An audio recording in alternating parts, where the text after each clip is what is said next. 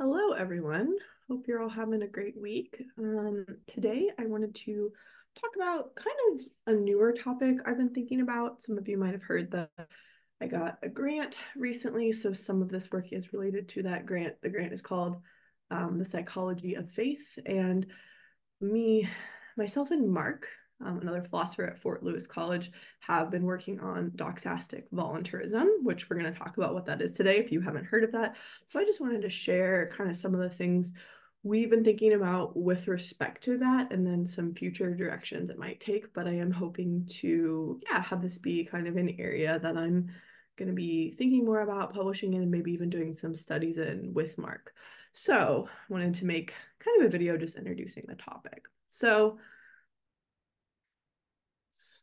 I can, okay. So I would be really interested, um, obviously, you know, you're not sitting here in front of me, but you can tell me in the comments, how many of you think that you could just decide to believe that some proposition is true? So if you think you can, that would be really interesting. Tell me in the comments. Maybe even you could give me an example of a statement or a proposition you think you could decide to believe. And here, what we mean by belief is thinking that a proposition is true. So um, if you think you can't decide to believe, that would also be really interesting. So um, yeah, let me know in the comments uh, your answer to that. So uh, cool little warm up survey question. Um, this question of whether we can choose to believe or decide to believe is a question that is very closely connected to this thesis known as doxastic voluntarism.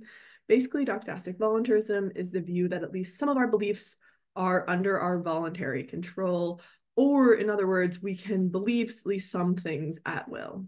So, like I said, voluntarism is it's, it's an existential claim. It applies to at least some beliefs. So actually, if you have voluntary control technically over at least one belief, technically doxastic voluntarism is true. I think it's less interesting if it's just like one or two beliefs. Um, I think it's more interesting if at least like a decent subset of beliefs. That'll be relevant, I think, on the next slide. But it's just good to be clear what the actual thesis of doxastic voluntarism is. And then doxastic involuntarism is the view that we don't have voluntary control over our beliefs. We cannot believe it will. This is a universal claim, so it applies to all beliefs. So if someone says they're a doxastic involuntarist, they think we never have control over any of our beliefs and voluntarists say, yeah, there's some beliefs that I can't, they don't, I don't have control over. Like it's very hard for me to believe uh, one plus one equals three, right? Um, but perhaps there are other beliefs I do have control over. Okay, another important distinction people make in this literature is about different kinds of control. So there's actually a, a, number of different varieties of control. And Mark and I, one of the things we've been working on is actually the Stanford Encyclopedia of Philosophy entry on doxastic voluntarism. So if you're interested in that, um, hopefully I'll be posting that on my website. Um, we're going to send it off for peer review. And once it's peer reviewed, assuming all goes well, hopefully we'll be able to post um, a final version of it. So we'll have a lot more varieties of control uh, once that is out. But here's an important distinction, maybe the most important distinction, at least according to the current literature, although I have my, my doubts about it, which I'll talk about briefly at the end, but that's direct versus indirect control. Okay, so pretty much everyone writing about doxastic voluntarism agrees that we can influence our beliefs indirectly. So of course we can change what we believe through a long process of hanging out with different people, exposing ourselves to different evidence, um, reading certain books, you know, um, doing certain things to influence our belief over a long period of time. So everyone thinks, yeah, of course you can to a degree influence our, your beliefs indirectly. That's not controversial. So some philosophers think, I think that a lot of philosophers think, um, again, have my doubts about this, but that the, the real question is whether we have direct control over our beliefs. So whether we can control our beliefs in sort of a direct and immediate way in a similar way that we can to our voluntary intentional actions. So here's how direct control is more um, precisely defined. It involves two things, temporal immediate, immediacy. So you can choose to believe just like that. It's not something that's stretched out over a long period of time, but something that you can do um, relatively immediately, relatively quickly and causal basicality. So you can do it without doing something else. So technically, um, So there's some books back there. Um, I can make myself form a belief about the first word on the top of page three of one of those books, right? I can open up the book, go read it, and form the belief.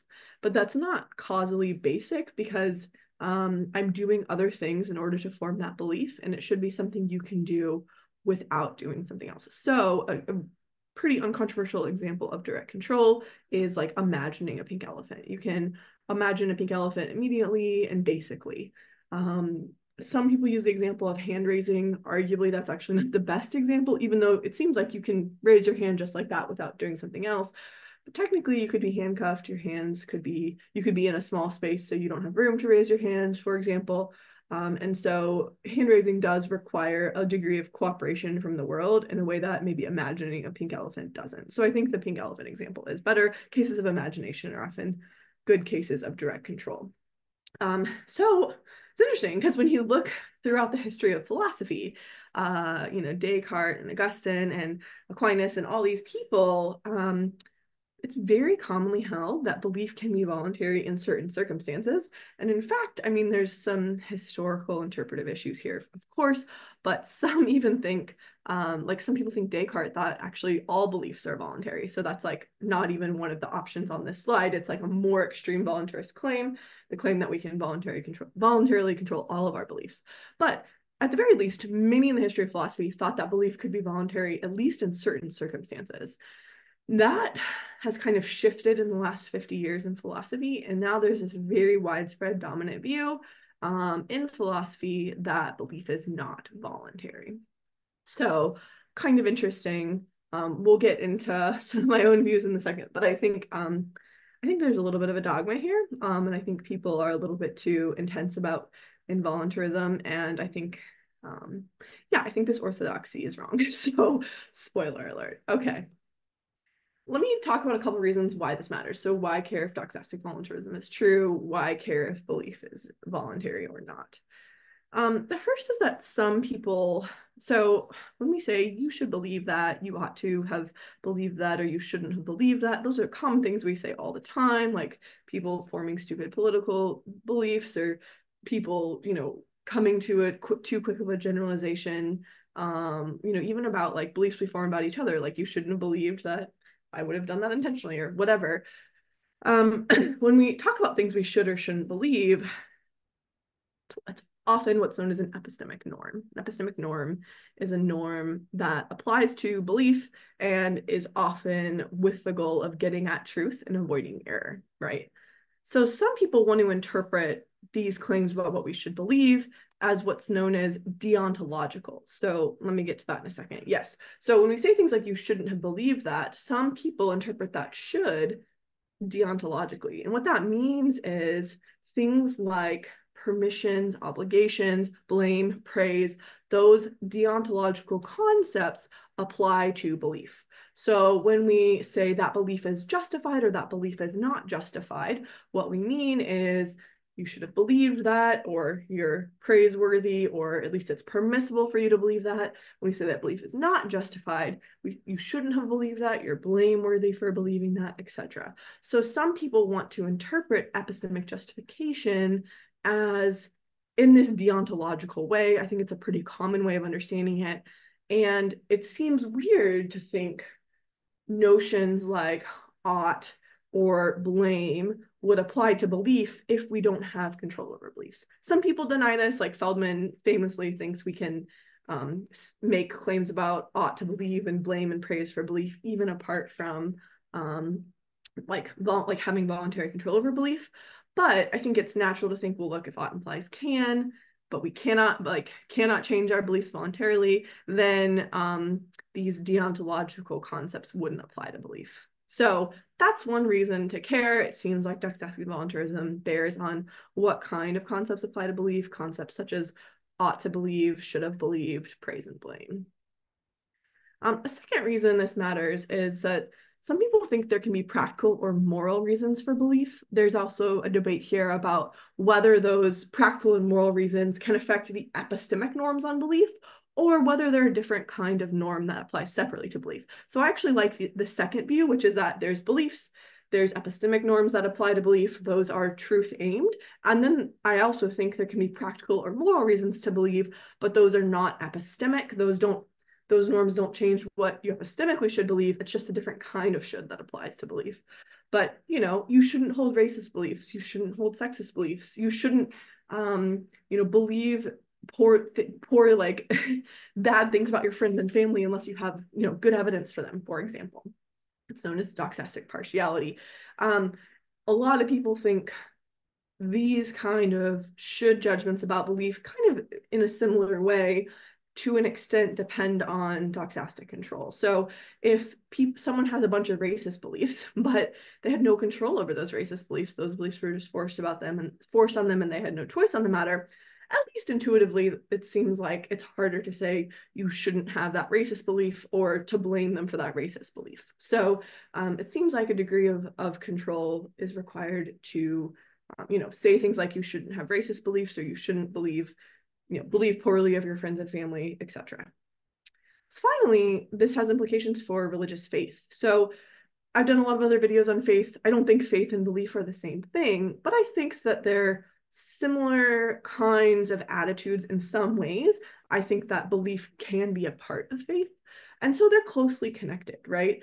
And, but there's a puzzle here, right? Because it seems like at least on some traditions, including the Christian tradition, but probably the, the Muslim tradition, maybe even on Buddhism, there's certain things that we ought to believe. So, um, you know, in Christianity and Islam, maybe you should believe that God exists. You should believe certain things about God.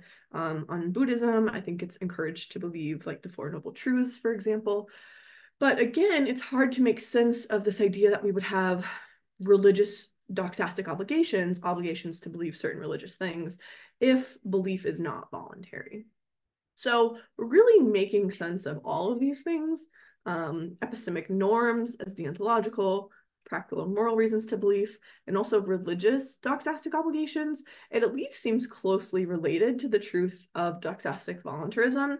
Um, and if you're going to say, well, the epistemic ought doesn't imply can, then you have to give a substantial argument for that, right? Because it does seem intuitive that ought implies can. So I think these are all some of non-exhaustive list reasons why doxastic voluntarism is a really important topic, um, one that people in general should care about, one that also Christians should care about. Okay, so when it comes to, like I said, most epistemologists, maybe not, definitely not all, most might be a little strong. I would say at least many epistemologists are involuntarists. So they think we don't have voluntary control over our beliefs. Um, these arguments really fall into two general categories. Okay, so the first kind of involuntarist is what you might call the conceptual involuntarist. The conceptual involuntarist says, look, there's something about the nature of believing itself, like what it is to believe or what it is to have a belief, that makes it so that belief isn't voluntary. So this argument actually goes back to, to Williams. Williams is a, a kind of famous I guess, person to kick off the conceptual case. I think a lot of people think Williams's argument, conceptual argument itself actually isn't successful, but Williamson's Williams brought this connection um, between beliefs aiming at truth and beliefs being involuntary that I think a lot of people think that connection holds. And I think that's a, a pretty popular reason why um, people think belief is involuntary. So the thought is, look, beliefs aim at truth. So you can't choose your belief because like once you kind of figure out the truth of the matter like i see that it's true that one plus one equals two that belief just happens to me um, i can't voluntarily pick uh, to believe one plus one equals two because of the way um, my belief aims at truth and then they say look if you do think you're choosing to believe what you actually end up having isn't a belief because it doesn't aim at truth in the right way there's a lot of more specific versions of this argument I'm not going to go into here. We will be covering all of those in our SEP, uh, Stanford Encyclopedia of Philosophy entry on doxastic voluntarism, which again isn't public yet, but hopefully will be in the next six-ish months. So keep an eye out for that for more, but that's sort of the general argument form.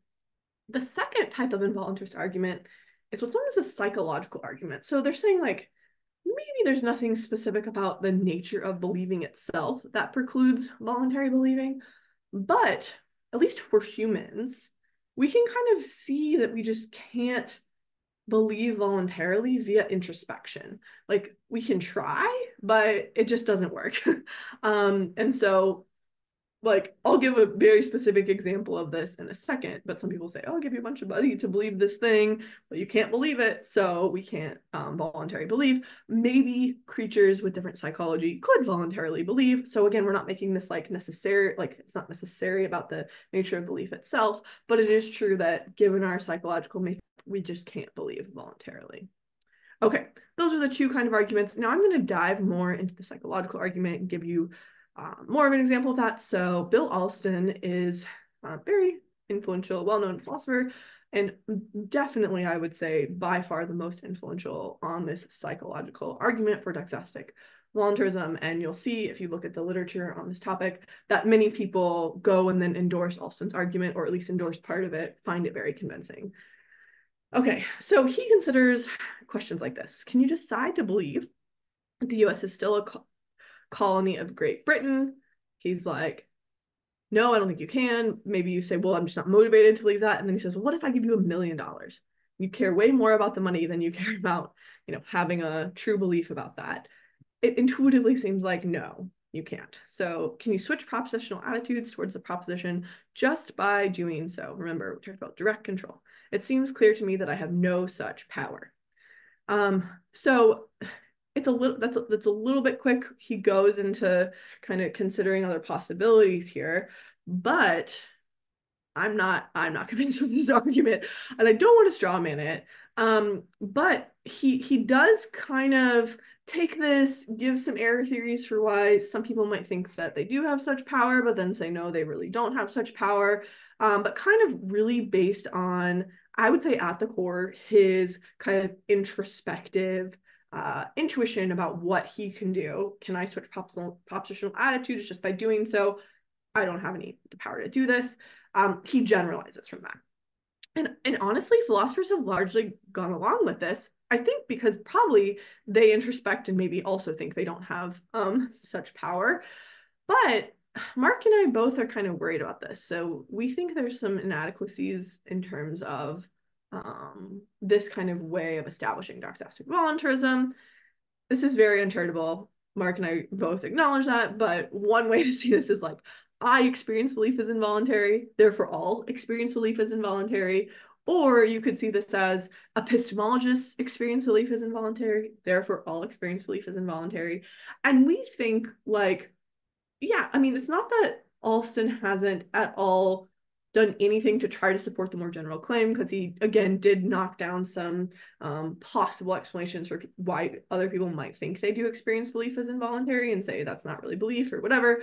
But we think this inference we need to like slow down and just think more about this kind of inference. Even if some have this experience of belief as involuntary we should be really careful to include that everyone experiences belief that way. And then remember whoops, I don't have it on there. Remember that involuntarism is a universal claim. So it's about all persons, all beliefs, all propositions, right? And so even as a psychological claim, it's still about all humans. So we, I think to get that strong of a claim, more work needs to be done.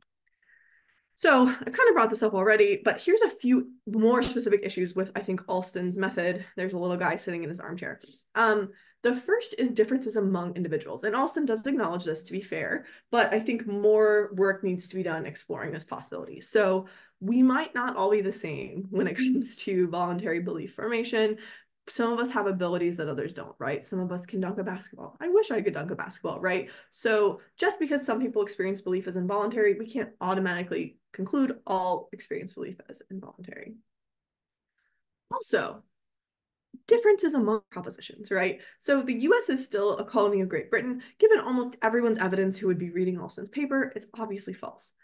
What about propositions that we have the evidence is ambiguous so it's it's really hard to know what's true seems like we have evidence for p and evidence for not p it seems like both p and not p are good explanations of the evidence think about controversial issues in philosophy ethics politics um, religion these kinds of cases where the truth value just isn't obvious, why why think that this kind of argument would apply to those? I think those kinds of cases of evidential ambu ambiguity need to be the ones we're thinking about when it comes to belief is involuntary, not cases that the proposition is just obviously true or obviously false. Because again, the volunteers can say, yeah, if the proposition is obviously true or obviously false, maybe we don't have direct control there. But in cases where really there's multiple reasonable explanations of the evidence that are all sort of good enough to adopt, why not in those cases? So I think we need to consider a variety of different evidential situations and not just cases where the proposition's obviously true or obviously false. Like I said, doxastic voluntarism is an existential claim. The final issue I want to point out here with Alston's method is that this psychological case seems to rely on certain empirical claims. So sure, the claim that you experience belief as involuntary is one you know, we can talk about two introspective access and how reliable that is, but you know, I'll give you the benefit of the doubt and say, sure, maybe you experience belief as involuntary, but do other people have that same experience? That's an empirical question. And so I think there's really interesting work for experimental philosophy here to say, look, let's ask people, let's ask non-philosophers that haven't um, been biased to the involuntarist orthodoxy. Let's ask, you know, everyday folk, do they experience belief as involuntary? And let's give them different propositions, propositions that the evidence is ambiguous, seeing if they agree with Alston or not. So that's where I said this, this inference from, you know, I experience belief as involuntary or epistemologists experience belief as involuntary to everyone experiences belief as involuntary. That, that's where I think more work can be done here. And I think we shouldn't just assess these kind of claims from just the armchair. Okay, so that's the main things I wanted to say today. I am now going to talk about future directions and I will probably make some future videos about some of these. So if you're super interested in any of these, let me know um, and I could maybe make a video about it. So the first question I think that needs to be addressed more, although it has been addressed to an extent um, in some some of the psychological literature like Tori, uh, sorry, Turri and Corey Cusimano, is do we really lack control in cases of evidential ambiguity? So in cases where the evidence doesn't clearly point us to this is obviously the true proposition and this is obviously the false proposition, could we have doxastic control in those kinds of cases? There is some preliminary psychological evidence that suggests yes, although I think more work could be done here. Um, and I think these results could be replicated. But I do think when we're thinking about doxastic control, cases of evidential ambiguity, epistemically permissive cases, that's like a way I've put it in past videos, those are the kind of cases to be looking at. Those are the cases we should all be interested in. Um, kind of said this already, but there is also a place to do empirical work, seeing if others experience belief as involuntary in the same way that Alston does, and in particular, people who haven't been um, swept up in this involuntarist orthodoxy. So I think there's a lot of interesting work there. And like I said, there's been some preliminary studies already suggesting that they don't, but then some involuntarists have brought up worries, oh, well, maybe they have these people have a different conception of belief, or they're not sensitive to direct uh, and indirect control. And so Mark and I are hoping to expand on some of these studies to try to make sure people are thinking about belief in the same way that philosophers are, and also to try to get at direct control, questions about direct control. Um, and, you know, like I said, everyone thinks we have a degree of indirect control over our beliefs. And so we want to make sure that's not what people are thinking of when they say that we can choose to believe. Okay, last thing, this is kind of a hobby horse of mine. So I'll try not to go too long. I do not understand the obsession with direct control. So like we said, direct control is temporal immediacy and um, ba causal basicality. So you can do it just like that and you can do it without doing anything else. People obsess over this. And any example you try to give someone of doxastic voluntarism or a voluntary belief, they say, well, that's not direct control, that's indirect control. And it's just this constant refrain you hear from this, this literature. And I find it extremely frustrating. Here's why. Think about actions. Think about forget about belief for a second and just think about actions that we hold people accountable for, right? Um, not getting their paper in on time to an edited volume. Um, we hold people people accountable for not eating healthy uh, and maybe not um, taking care of their body by working out in the way that they should. We hold people accountable for not doing the dishes when we ask them to. We hold people accountable for, I could give a long list here notice that none of these actions are things we do just like that and things we do without doing something else, right? Doing the dishes requires a degree of cooperation from the world. It's a drawn out process. It can take, if you have a lot of dishes, it can take hours, right? Um, taking care of your body is a process that occurs over months, if not years, of you know choosing to work out, choosing to eat healthy, etc. Right? Writing a paper, same thing, can take months, can even take years sometimes. We hold people accountable for these kinds of actions, even though we obviously don't have anything close to direct control over them, but we have enough control over them, right? And so people just, what they do is they have this super, super, super, super high bar for belief when so many actions that every day we take to be um, completely voluntary, things that we hold you completely responsible for, um, we do not have direct control over. And so, what I kind of think has sort of happened in this literature is that people have set this bar for the kind of control we need to have over belief so high that any example of belief at will, people are going to say, oh, that's not technically direct control. That's technically indirect control because you have to do this like little thing in order to form the belief. When like in actions, we'll hold people responsible and say they have like voluntary control over things that they have to do lots of little things in order to do. So we don't have direct voluntary control over many, if not most, of our actions, but we still call them voluntary. We still hold people responsible for them. And so I think what we need to do is forget direct control, stop obsessing over direct control. You're setting the bar for belief way too high, people, and instead think, okay, is this the kind of control I have over a voluntary action? Can I control belief in the same way I can control many of my voluntary actions? And if yes, I think that's a good candidate. That's a good um, variety of control to say that belief is relevantly voluntary. And we can say, you should have believed that. We can hold you responsible. We can praise and blame you. These kinds of things we are talking about when we're talking about the motivations for why we care about direct control. So that's a whole thing I could talk about way more. I'm obviously uh, I have some some strong views here, but I hope you can kind of see why I find this frustrating because I don't think direct control is all that matters for things like praise and blame. I don't think it's even um, I think it's way way too strict of an understanding of what it takes for something to be voluntary. But for some reason, everyone in the literature has just latched onto it, and so it's not surprising that a lot of them conclude that belief is involuntary because they're holding belief to such a high standard. So anyway, stay tuned for some future videos on this. If there's anything specific you are like really found interesting here or want to hear me talk about, let me know. Um, and yeah, have a great day. Thanks for watching.